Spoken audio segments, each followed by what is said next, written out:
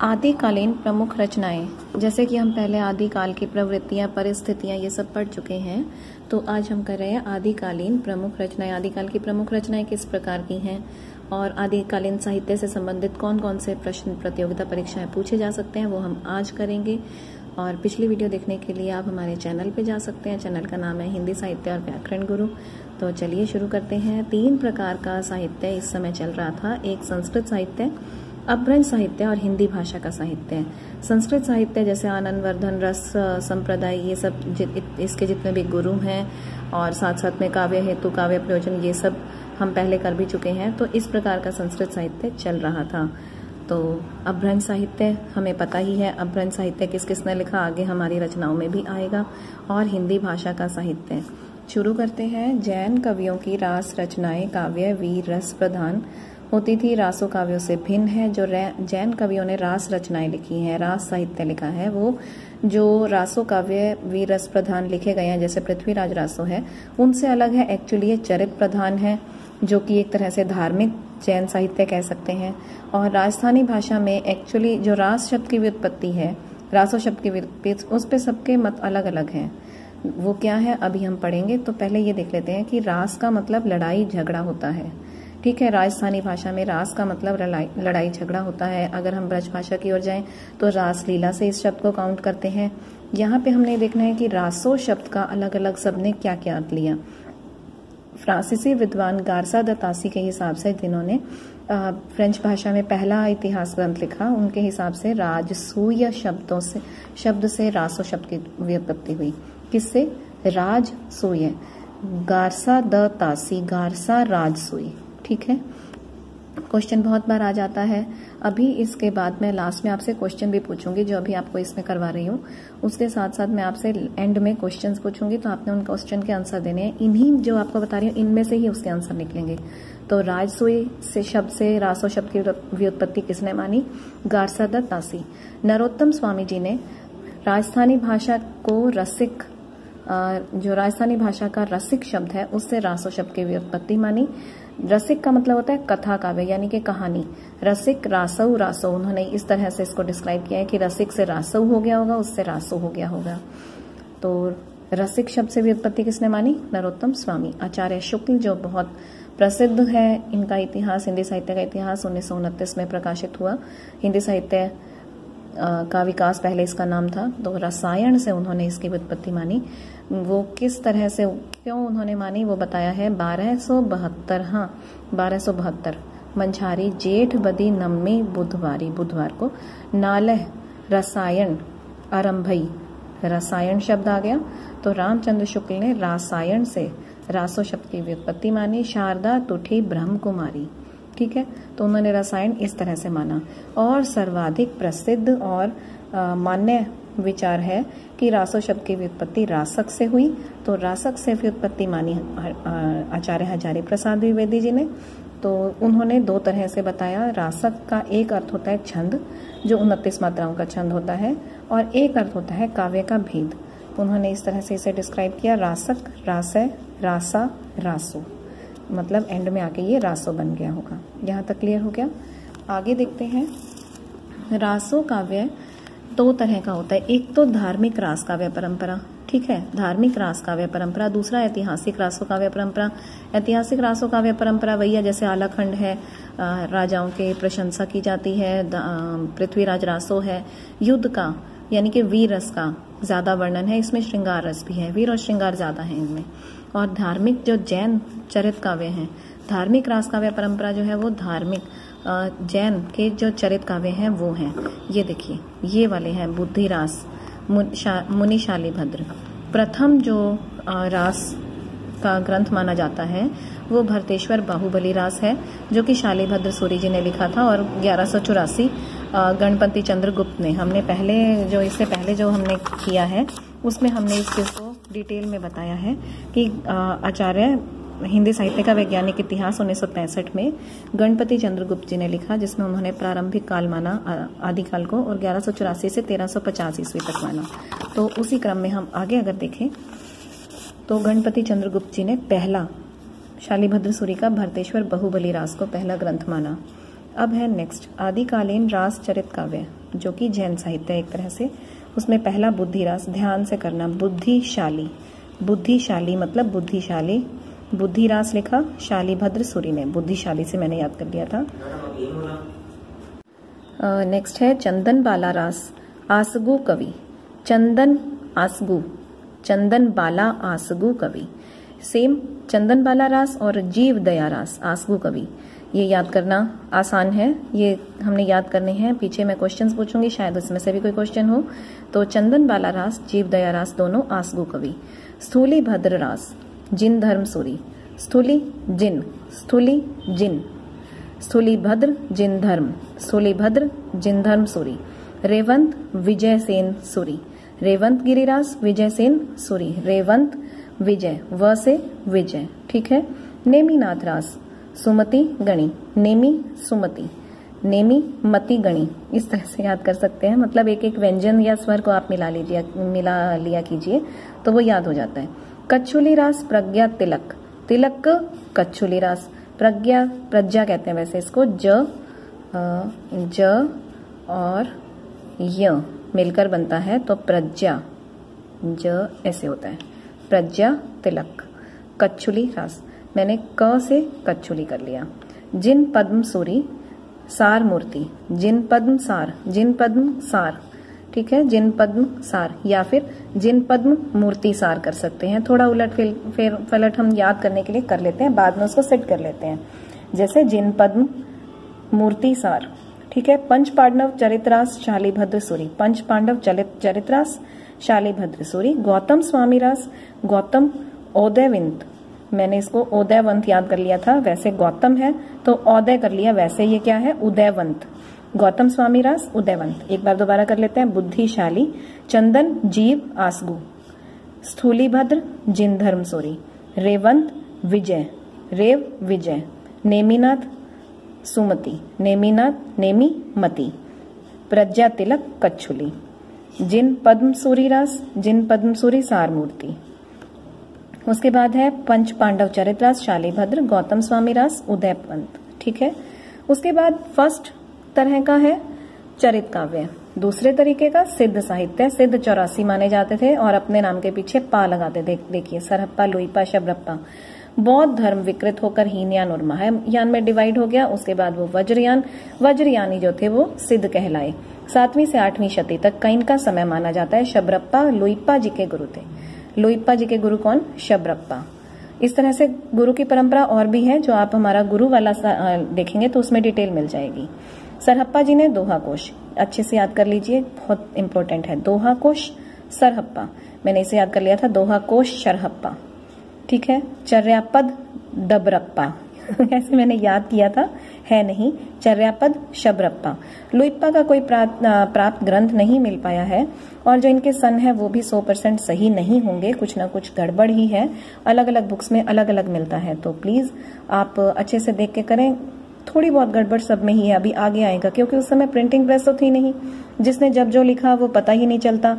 जो ऐतिहासिक ग्रंथ है, उनके आधार पर सबने अपने आइडिया ही लगाया तो अलग अलग विद्वानों के आदिकाल में यही नामकरण और काल विभाजन का ही डिफरेंस रहा है। सबसे बड़ी प्रॉब्लम ही काल विभाजन की रही है। डोम्भीपा क्लियर ही है डोम्भी गीतिका, आठ ईस्वी। कणहप्पा चौहत्तर ग्रंथ मिले हैं इनके, और कुकरीपा सोलह ग्रंथ। तो ये जो छह हैं, वो सिद्ध साहित्य के प्रमुख रचनाकार माने जाते हैं। हो जाएगा याद? आगे चले। उसके बाद नाथ साहित्य है। प्रॉपर इसका कोई ग्रंथ नहीं मिल रहा है। एक्चुअली मिले हैं। जिन ग्रंथों को हमने देखा है, वो आपको पता ही है, इसलिए हमने ज़्यादा यहाँ डिटेल नहीं की है। नाथ साहित्य के जो प्रवर्तक हैं, वो मत्स्येंद्र नाथ और गुरु गोरखनाथ माने जाते हैं। गुरु गोरखनाथ के गुरु मत्स्येंद्र नाथ माने जाते हैं, लेकिन ज़्यादा प्रसिद्ध गोरखनाथ जी। बारह, बारहवीं से चौदहवीं शती तक का इनका समय है। नौ नाथ माने जाते हैं, जिनमें से आदिनाथ शिव जी को माना जाता है। शिव को आदिनाथ माना जाता है। अब इनका एक हम दोहा देखते हैं। दोहा से मुझे याद आया, जो हिंदी में सबसे ज़्यादा प्रसिद्ध और प्राचीन छंद है, वो दोहा ही है। दोहा में ही लिखना सबने ज़्यादा, सबसे पहले शुरू किया था। सोवता अवधु जीवता मुवा, बोलता अवधु पयंजरई सुवा। गोरखनाथ जी की रचना है। गोरखनाथ जी का ये वाक्य है बहुत बार पूछा जाता है। सोवता अवधु जीवता मुवा बोलता अवधु पयंजरई सोवा। गोरखनाथ जी ये बहुत ज़्यादा प्रसिद्ध है दो तीन बार आ चुका है। और मतलब अलग अलग परीक्षाओं में दो तीन बार रिपीट होके आ चुका है। कि, किसका बेटा किसकी बहू आप सवारथ मिलिया सहू। चरपटनाथ जी का बहुत प्रसिद्ध है। नौ लख पातरी आगे नाचे पीछे सहज अखाड़ा ऐसे मन मनले जोगी खेले अब अंतरी बसै भंडारा। गोरखनाथ जी का इन तीनों में ये सबसे ज़्यादा प्रसिद्ध है नौ लाख पा, पातरी आगे नाचे। इसे अच्छे से कर लेना गोरखनाथ जी का। उसके बाद है रासो काव्य में चौथी तरह का जो साहित्य है वो रासो साहित्य है जो मेन है वो भी यही आदिकालीन साहित्य में रासो साहित्य को सबसे ज़्यादा प्रसिद्ध माना जाता है सबसे ज़्यादा जैसे कहते हैं कि इसको करना बहुत ज़रूरी है। पृथ्वीराज रासो, चंद्र बरदाई, बीसल देव, नरपति नाल, हमीर रासो, शारंगधर, विजयपाल रासो, नल सिंह, खुमान रासो, दलपति विजय, परमाल रासो, जगनिक। परमाल रासो को आल्हा खंड भी कहा जाता है। आल्हा और उदल की इसमें वीरता का वर्णन है। जो पृथ्वीराज रासो है, वो नाम से ही पता चल रहा है। पृथ्वीराज रासो के बारे में है। चंद्र बदाई उनके मित्र ही थे। तेरह सौ तिरालीस ईस्वी भी कहा गया और बारहवीं शती भी इसका दिया गया है। मेरे को ऐसा जहाँ तक आइडिया है, तेरह सौ तिरालीस होना चाहिए। वैसे मेरा आइडिया इतना नहीं चलेगा। आप चेक कर लीजिए तो बेटर रहेगा। बीसल देव रासो नरपति नाल। बीसल नाल, मैंने इस तरह से याद किया था। बीसल देव, नरपति। बीसल देव, नरपति। पृथ्वीराज तो अपने आप याद होगा ही आपको चंद्र बरदाई हमीर रंगधर। हमीर रंगधर। विजयपाल नल। विजयपाल नल सिंह खुमान रासो दलपति विजय, खुमान नलपति विजय। परमाल रासो जगनिक, परमाल रासो जगनिक। तेरहवीं शती, ये इनके सन है। अन्य में भटकेदार जयचंद प्रकाश। भटकेदार जयचंद प्रकाश, ये रचना अप्राप्त है ये दोनों मधुकर कवि की। और भटकेदार की जयचंद प्रकाश और जय मयंक जसचंद्रिका, ये दोनों अप्राप्त रचनाएँ हैं बारहवीं शती की। फिर हम पढ़ते हैं कुशल राभ ढोला मारूरा दूहा का। कुशल लाभ ढोला मारूरा दूहा का। कहीं इसकी चौदहवीं शती आती है, कहीं इसकी पंद्रहवीं शती। उसके बाद है अमीर खुसरो। अमीर खुसरो जी की रचना है खालिक बारी, खुसरो की पहेलियाँ, मुकरियाँ, दो सुखने, गज़ल। खालिक बारी खालिक बारी, खुसरो की पहेलियाँ। पहेलियाँ तो आपने बहुत देखी होंगी इनकी। एक थाल मोतियों से भरा, सबके सिर पर औंधा धरा सबके सिर पर औंधा धरा, सबके सिर पर थाल फिरे, मोती उससे एक न गिरी। तो बहुत बार देख, पढ़ा होगा आपने। इसका अर्थ है बादल और ये लिखा है अमीर खुसरो जी ने। अमीर खुसरो के पहेलियाँ मुकरियाँ दो सुखने, गज़ल और भाषा में भी इन्होंने रचनाएँ की हैं। इनका समय 1255 से 1324 तक माना जाता है। जो खालिक बारी है, वो एक तरह से उर्दू फारसी का शब्दकोश माना जाता है, जो इन्होंने लिखा। इनके गुरु हज़रत निजामुद्दीन औलिया, हज़रत निजामुद्दीन औलिया। और सितार और तबला के ये आविष्कारक माने जाते हैं। ये क्वेश्चन भी बहुत बार आता है। वैसे इंटरेस्टिंग भी है, कर लेना चाहिए। जो इंटरेस्टिंग चीज़ें होती हैं, अपने आप याद रह जाती हैं। आदिकालीन खड़ी बोली के प्रथम कवि अगर पूछा जाए तो अमीर खुसरो ही हैं। बारहवीं से तेरहवीं शती में इन्होंने अपनी रचनाएँ लिखी और अनेक शासनकाल भी इन्होंने अपने जीवन में देखे। फिर है आदिकालीन अभ्रंश रचनाएँ। पहला संदेश रासक अब्दुल रहमान। संदेश रासक अब्दुल रहमान, बारहवीं शती का एंड है और संदेश रासक एक तरह से एक विरह काव्य है। उसके बाद है पौनचर्यो रिटनेमी चर्यो और नाग कुमार चर्यो ये लिखा स्वयंभू जी ने आठवीं शती में, तीनों चारों सॉरी स्वयंभू छंदसवी। महापुराण लिखा पुष्पदंत जी ने दसवीं शती में। महापुराण, पुष्पदंत दसवीं शती।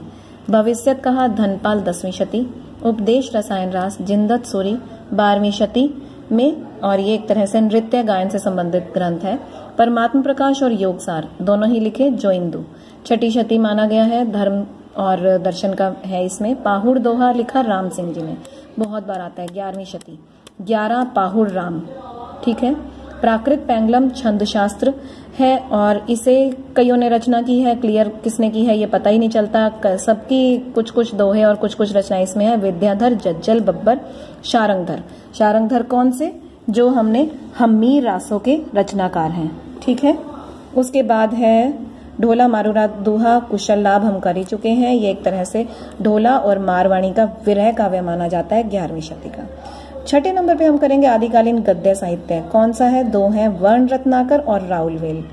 वर्ण रत्नाकर लिखा ज्योतिरेश्वर ठाकुर जी ने, मैथिली हिंदी का गद्य रचना है ये। और राहुल वेल जो है, शिलांकित कृति है, बहुत बार आता है, शिलांकित कृति, याद रखना। रोड़ा जी ने लिखा दसवीं शती में। रोड़ा जी ने दसवीं शती में लिखा। ठीक है?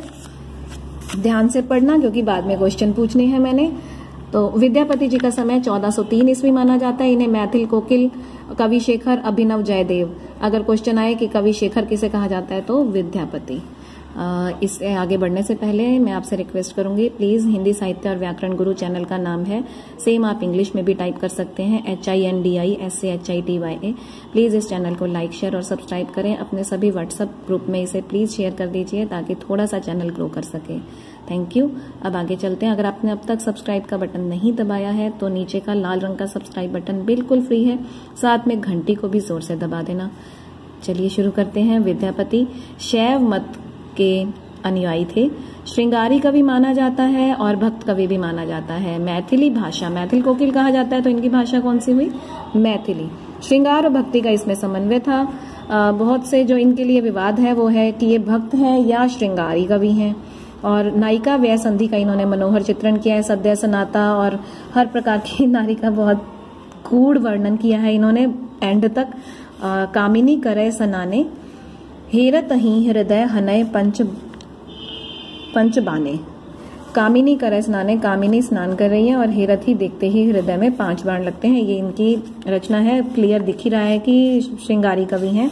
सेम बात आचार्य शुक्ल जी ने भी कही है कि विद्यापति के पद अधिकतर श्रृंगार के ही हैं, जिसमें नायिका और नायक राधा कृष्ण है। नाम मतलब आप, अगर आपने ईश्वर का रख दिया, राधा और कृष्ण का रख दिया, देवी देवता का रख दिया तो इसका मतलब ये तो रही है कि आप कितने भी डीपली आप कुछ भी लिख सकते हैं, और वैसे आचार्य शुक्ल हमेशा ही श्रृंगार घोर श्रृंगारी के विरुद्ध ही थे वलगैरिटी के। आध्यात्मिक रंग के चश्मे बहुत, आजकल बहुत सस्ते हो गए हैं, उन्हें चढ़ाकर जैसे कुछ लोगों ने गीत गोविंद के पदों को आध्यात्मिक संकेत बताया है वैसे ही विद्यापति के इन पदों को भी, लेकिन इसमें आध्यात्मिकता मुझे तो खुद भी नहीं दिखती।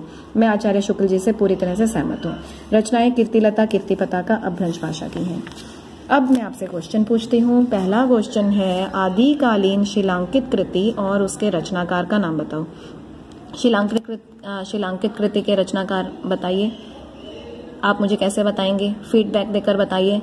अगर अब तक आपको नहीं आया तो मैं बता देती हूँ। रोड़ा कृत राउल वेल। ये मैंने आपसे बोला भी था, एक थाल मोतियों से भरा, सबके सिर पर औंधा धरा चारों और वह थाल फिरे मोतियों से, एक न गिरे पहेली का भेद है बादल।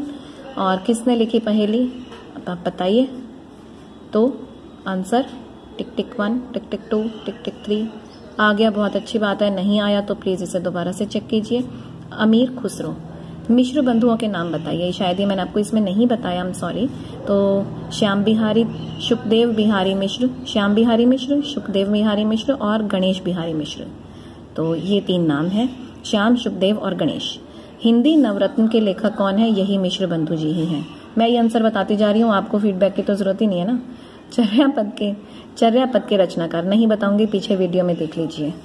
हिंदी का सबसे प्राचीन छंद नहीं बता रही मैं आपको आप फीडबैक दीजिए नीचे कमेंट करके या फिर आप पीछे वीडियो में देखिए। आदिकाल के अभ्रंश का, को अभ्रंश काल किसने कहा? ये तो बता दो।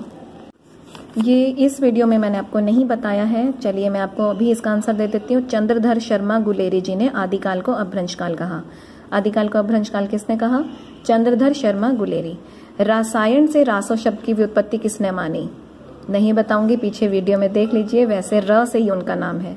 कच्छुली रास के रचनाकार कौन है? कच्छुली रास भी पीछे आ चुका है, अगर आपको ध्यान हो तो आप देख सकते हैं कच्छुली रास किसने लिखा है। तो देखते हैं हम। प्रज्ञा तिलक है वैसे इसका आंसर, आप देख लेना। उसके बाद है, परमाल रासो का अन्य नाम क्या है? ये मैंने आपको बताया भी था आल्हा खंड और इसके रचनाकार आप पीछे देख लीजिए। महापुराण के रचनाकार कौन है? महापुराण, जो अभ्रंश साहित्य में सबसे बड़ा रचना मानी गई है, महापुराण। अब मैं आपको बता नहीं रही हूँ, यहाँ से देख लेना। और कौन सी क्षति है? दसवीं क्षति है।